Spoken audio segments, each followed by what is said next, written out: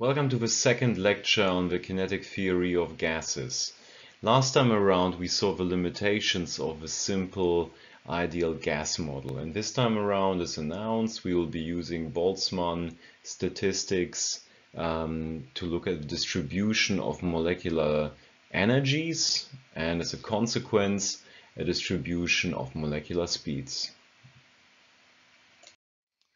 So now on the last slide, yeah, comparing our simplified model uh, with a model uh, with a real heat capacities observed for gases, we sort of see the limitations of this simple model that we've chosen. Yeah, on slide three.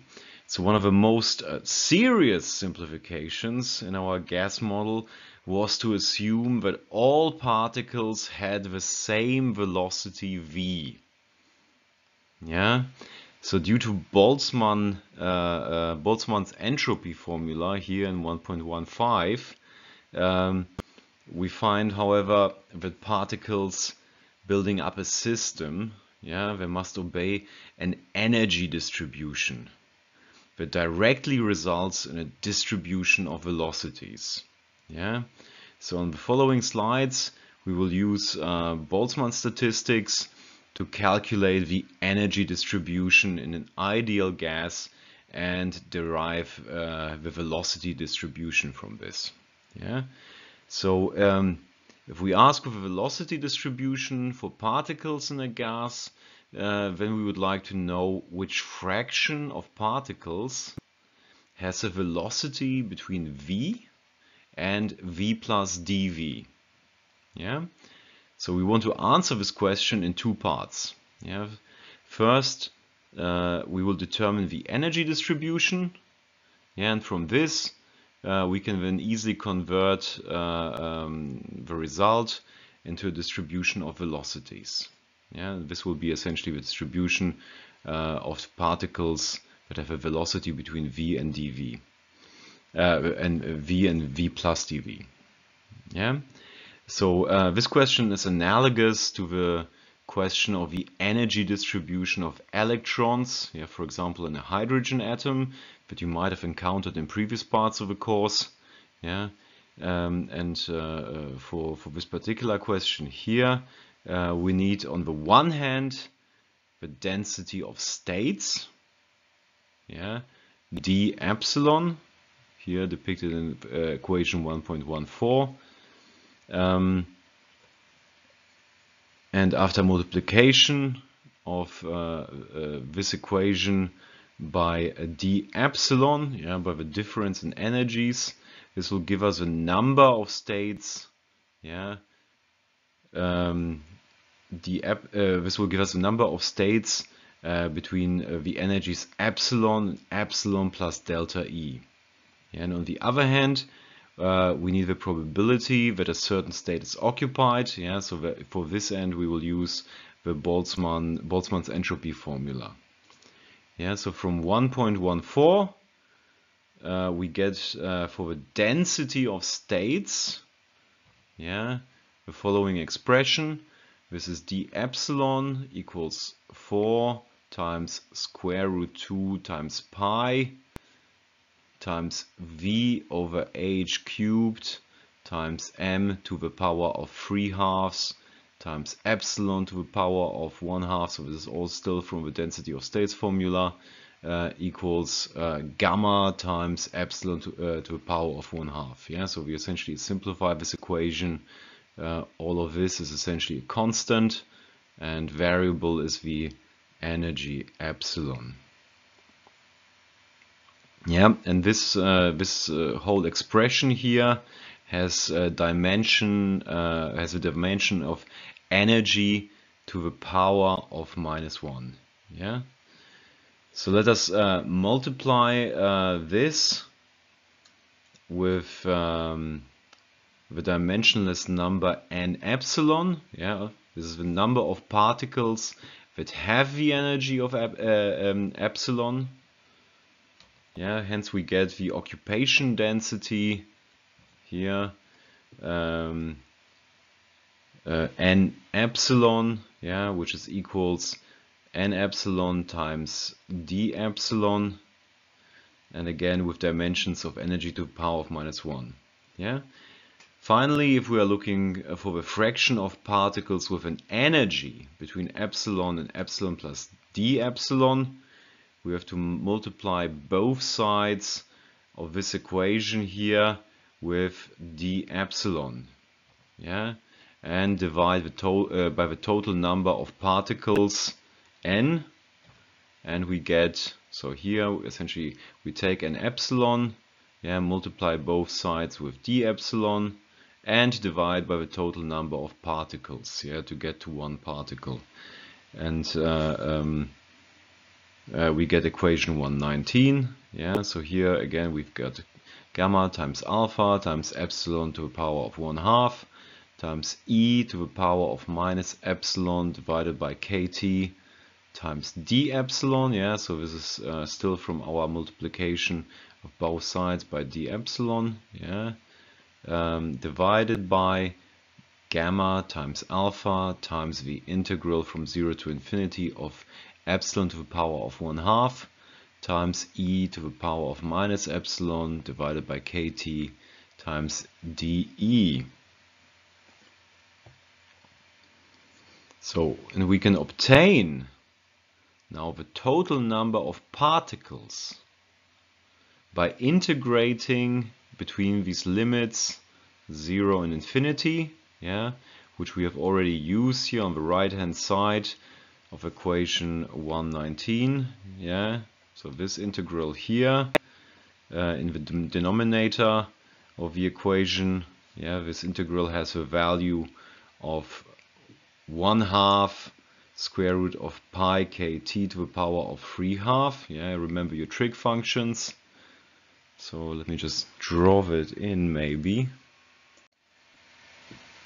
Yeah, so as I said, this integral here, if we do the integration from 0 to infinity over dE uh, uh over d epsilon, we get 1 half times square root of pi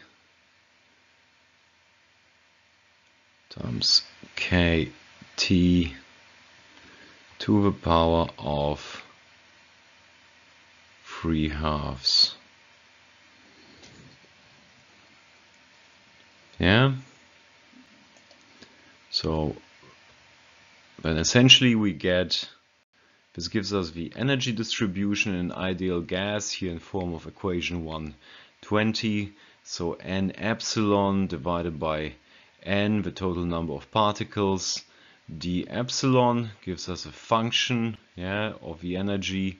Uh, d epsilon equals 2 pi times 1 divided by pi kt to power of 3 half times epsilon 1 half times e to the power of minus epsilon divided by kt d epsilon.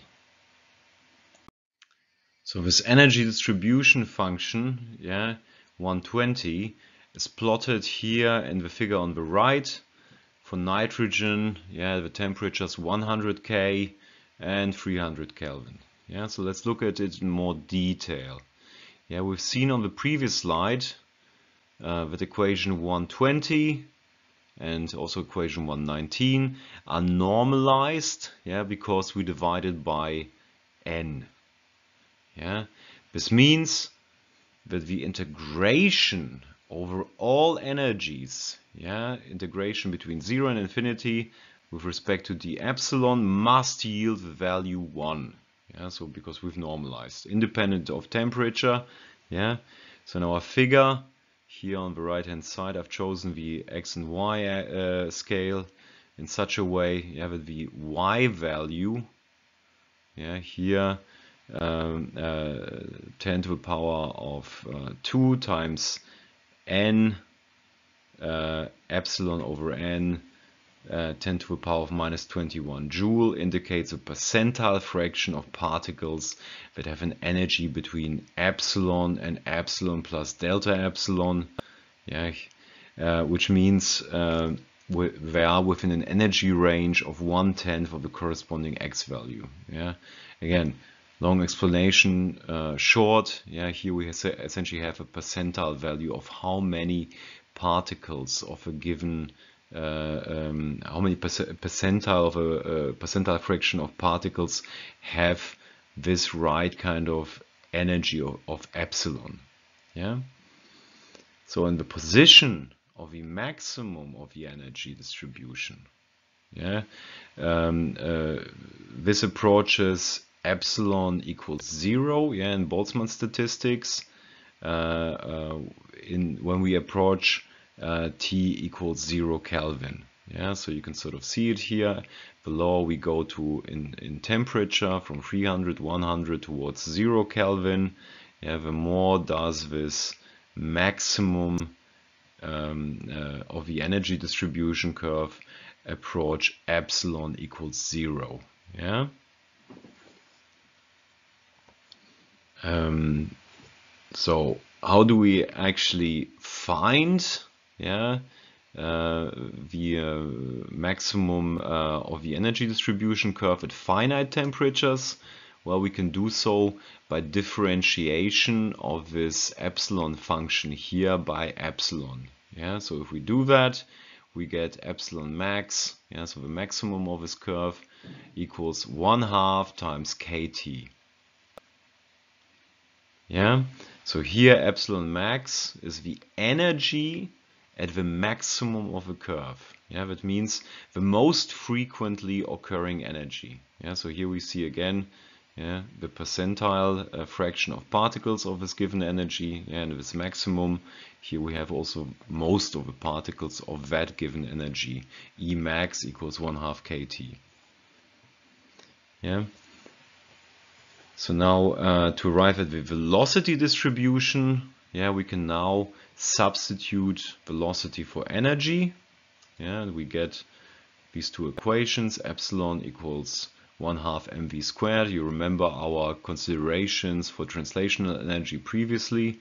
Yeah, and also 123 d epsilon equals mv dv. Yeah, so essentially uh, derivatizing this yeah, and using uh, this relationship in equation 120, we get also the velocity distribution in ideal gas here 124 yeah so this is essentially analogous in both instances just with a substitution of velocity for energy. We get nv divided by n the total number of particles uh, times dv equals uh, our velocity function dv uh, and this is m divided by 2 pi kt to the power 3 half uh, times 4 pi v squared times e to the power of minus v squared divided by 2 kt times dv. So let's now compare the energy and velocity distribution functions at different temperatures. Yeah, so the left figure here um, shows us the uh, velocity distribution of nitrogen molecules at two different temperatures, again 100 Kelvin and 300 Kelvin. Yeah, and in contrast to the energy distribution curve, yeah, our function epsilon, um, the velocity distribution curve uh, function of v has a parabolic curve, yeah, um, at low x values, yeah, because of this v square factor. Yeah.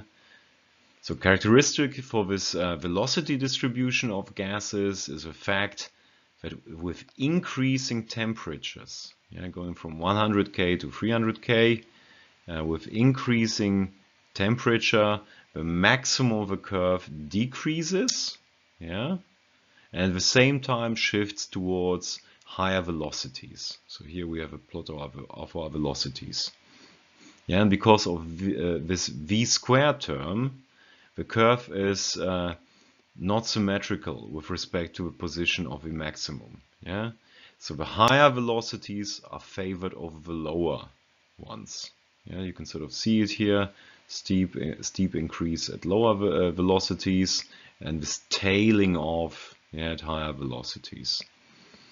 Um, as a result, yeah, this, this means that the mean velocity, yeah, v dash, is not identical to the most frequent velocity, yeah? uh, v max. Yeah, v max is here at this point, and uh, v mean will be slightly different because the higher velocities are preferred. Yeah, um, and uh, the mean velocity, yeah, v, v dash, and the mean value of a velocity squared, yeah, v dash squared, um, are of great importance, yeah, for for later calculations. Yeah, hence in the following, we want to determine these quantities, v dash, uh, uh, v squared dash, yeah, and v max, and compare them. So again, uh, analogous to the uh, energy distribution in ideal gas, yeah, here we can obtain V max, yeah, that means the speed at the maximum of a curve by differentiating this expression, uh, this function uh, of velocities, yeah, here from equation 1.24 by V, yeah, so let's do that. So differentiation of V by V, so we get uh, dfv by dv equals 4 pi uh, times m divided by 2 pi kt to the power of 3 half. And here in brackets v squared times e to the power of minus mv squared divided by 2 kt times minus mv divided by kt plus 2v times e to the power of minus mv squared divided by 2 kt yeah and again, how to get to Vmax? Well, we have to uh, set the first derivative to zero. Yeah, so this is here and equation 1.26. Yeah, and we now essentially, uh, following from these two equations, we now solve for Vmax. Yeah, and we essentially get as the most frequent velocity Vmax equals square root of 2 kt divided by m. Yeah, and uh, uh we can also get this in molar quantities by substituting m as a molar mass. Yeah, so let me just draw that in here. So here in this case, for molar quantities, m is our molar mass.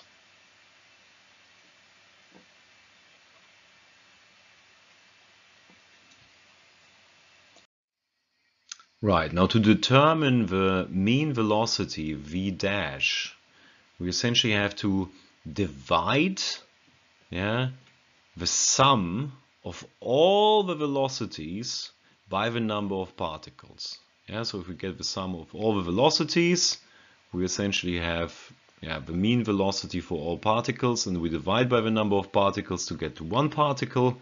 Yeah, so then we get our v dash and we can get the sum of all the velocities by the integral yeah, of a product nv times v.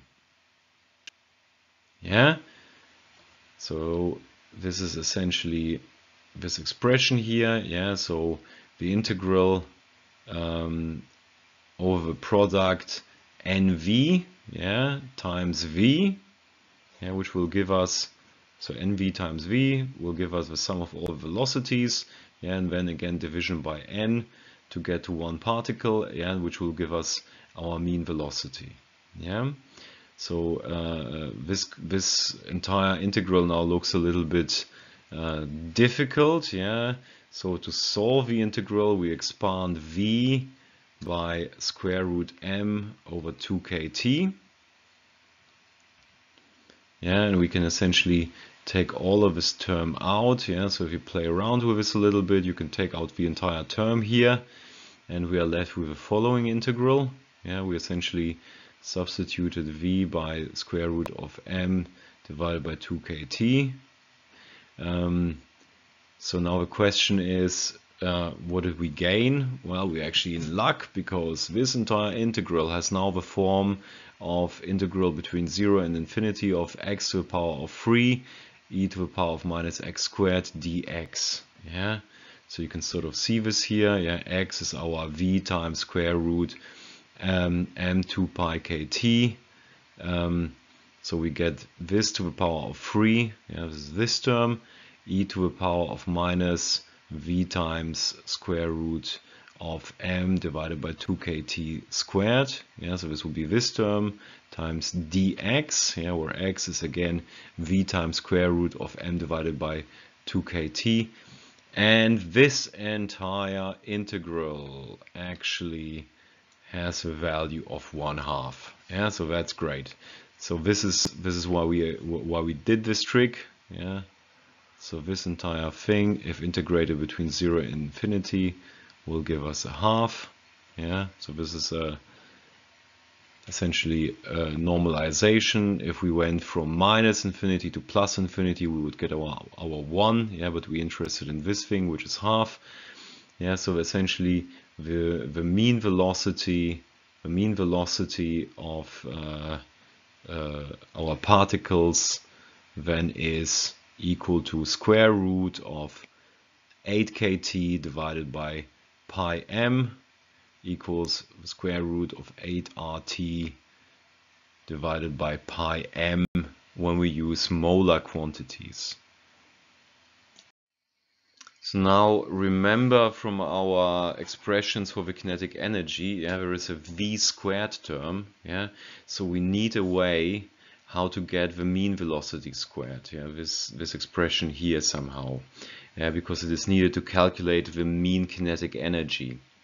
Yeah, so we integrate uh, essentially the product um, of velocity squares squared and the normalized distribution function yeah, to get uh, equation 1.33. Yeah, so this is essentially again, as I said, uh, um, product of the velocity squared and the normalized distribution function, which we saw previously. And again, we expand uh, v by uh, square root of m divided by 2kt yeah. And we get the following equation. Again uh, you can play around with the integrals a little bit and you can pull out all of these constants here.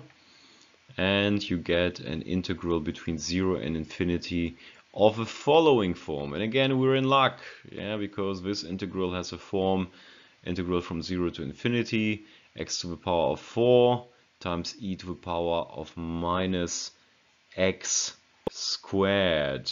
Yeah, and again, this is uh, one of these uh, uh, famous integration tricks. Yeah, so this entire integral has a value of 3 eighths times square root of pi. Yeah, so uh, let me just write it down somewhere so that we don't forget. So this entire thing has value of 3 eighths square root of pi. Yeah, and hence we get our equations for mean velocity squared equals 3 times kt over m. Yeah. Oh, now we can't really see that. Let me just remove it again, but keep this in mind. Yeah and we get the square root of a mean velocity squared. Yeah, so the square root of a mean velocity squared equals square root of 3 kt over m equals square root of 3 rt over big M for molar quantities. Yeah. Now let's finally compare yeah, V max and V dash and square root of uh, V squared dash. Yeah. So let's appreciate these ratios for a minute. Yeah, they will come in handy very soon. Yeah, so Vmax to V squared to the square root of mean velocity squared yeah, is uh, square root of 2 for Vmax, square root of 8 over pi for V dash, and square root of 3 yeah, for square root of mean velocity squared. Yeah. More importantly, yeah, given equation 1.35, uh, the average kinetic energy of a molecule is given by this expression here. Yeah, so again, this is the equation we use. Yeah, so the uh, average or the mean kinetic energy of a molecule is, as we've written now, derived on, uh, on several ways, is one half mv squared, yeah, equals 3 halves kt.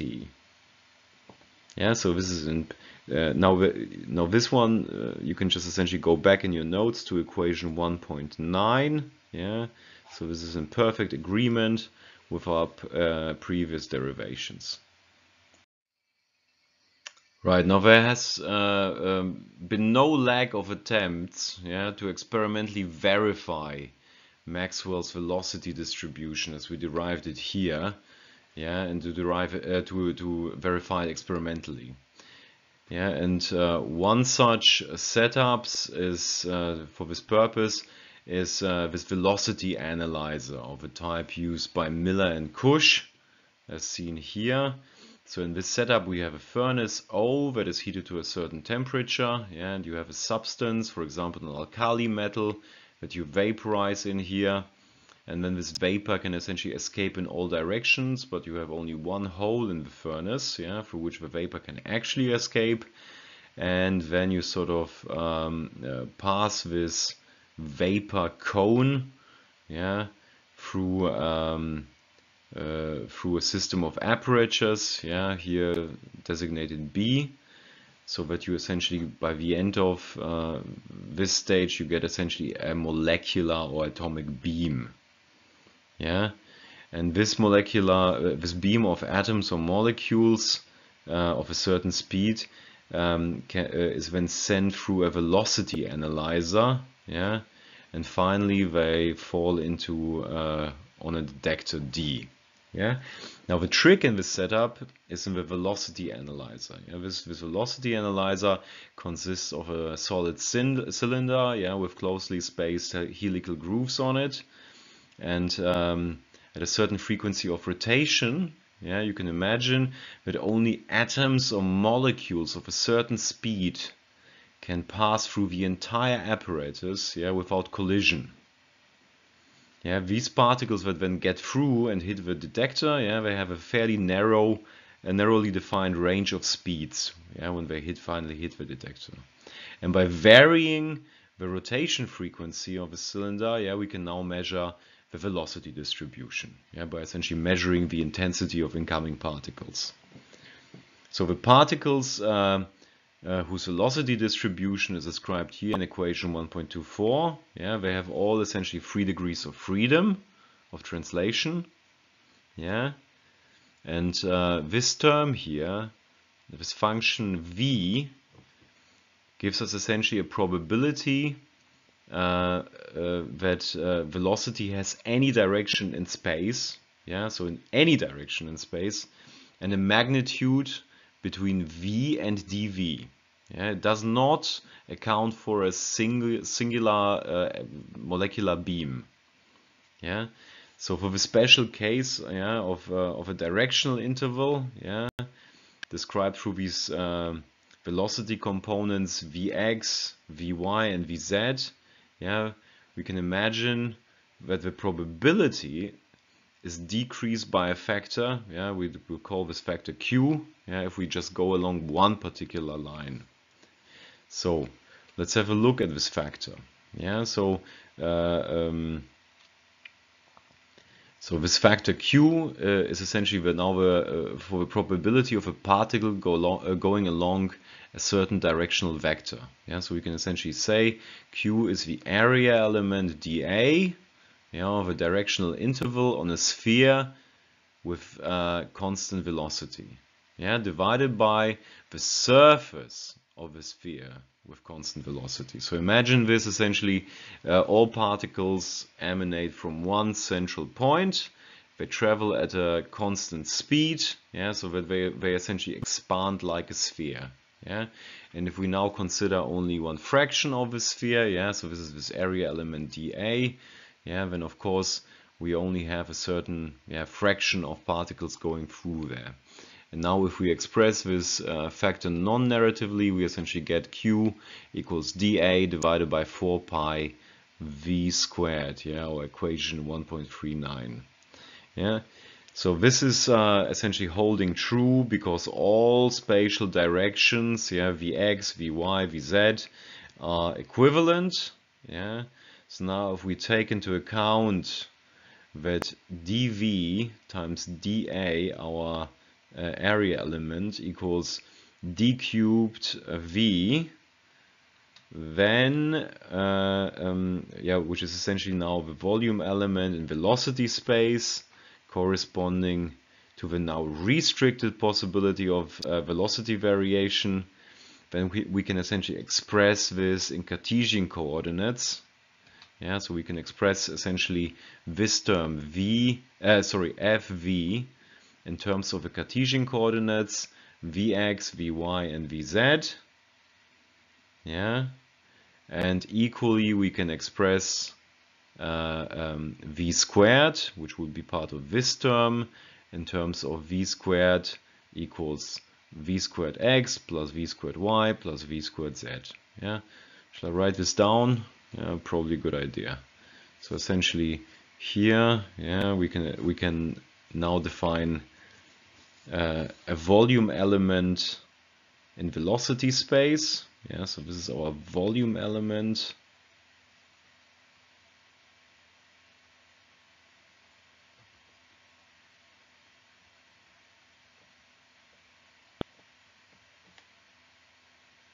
in we'll call it velocity space yeah v space and we can now ex essentially express our velocity distribution function yeah, not just in terms of general vector v, yeah, but in terms of the Cartesian coordinates vx, vy, vz. Yeah, this is clear. But equally well, we can also uh, express v squared yeah, as the sum of its uh, uh, Cartesian coordinate components. Yeah, vx squared plus vy squared plus v z squared. Yeah, so essentially, so this term here is equivalent to this, and equally well we get the velocity distribution here, yeah, in the same way. So now, because of the isotropy, yeah, so traveling along the x-axis or one axis, uh, and the multiplicative property of probability. Yeah, uh, we get now the following for the velocity distribution in one dimension. Yeah, this is equation 1.42 where we essentially eliminated the Vy and Vz terms. Um, so we can derive uh, uh, corresponding terms if we considered uh, velocity distribution along the y or z axis, yeah, just by substituting in here Vx, Vy, and Vz as we needed. So in equation 1.42, yeah, we can sort of see that uh, the term Vx only occurs in the exponent of this e function, yeah, and it does so quadratically. Yeah, so we conclude from this, yeah, that the velocity distribution in one dimension must be symmetrical yeah, to Vx equals zero. Yeah, so uh, and have its maximum also at this point. Yeah, so the figure below, essentially the figure here, shows uh, the one-dimensional velocity distribution. Yeah, plotted once for 100 K, yeah, and 300 Kelvin for nitrogen. Yeah, and we we would essentially get directly, yeah, to this equation 1.42 if we had used the density of states for a one-dimensional gas and plugged it into 1.41 yeah, into this equation. But uh, we arrived at there, there anyway. So um, we note also, yeah, here we divide by n in both these equations, 1.42 and 1.41. So both are normalized. Yeah, so it means effectively uh, if we integrate over all v space, yeah, over all velocities between zero and infinity, yeah, um, or in this case all vx, yeah, between minus infinity and plus infinity, then this should yield us a value of 1. Yeah, so now we can calculate here from equation 1.42 the mean velocity of the particles moving in one direction.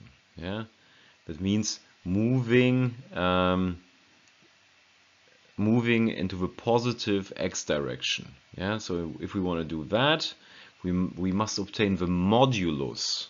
Yeah, of uh, vx. So this is the modulus yeah, or the, uh, the, modulus of the mean velocity of particles traveling in the positive x, x direction is given uh, by um, square root of kt divided by 2 pi m, yeah, or kt divided by 2 pi m to the power of 1 half. Yeah, let's compare this now with equation 1.31. Yeah, so this was the mean velocity uh, expression. Um, and we see hence yeah, that the modulus of Vx is exactly a quarter of V dash. So now we know how to relate the principal quantities V max, uh, V dash and V root, root mean squared. Yeah, so uh, equipped with that, we will be looking at collisions and gas diffusion in the next lecture.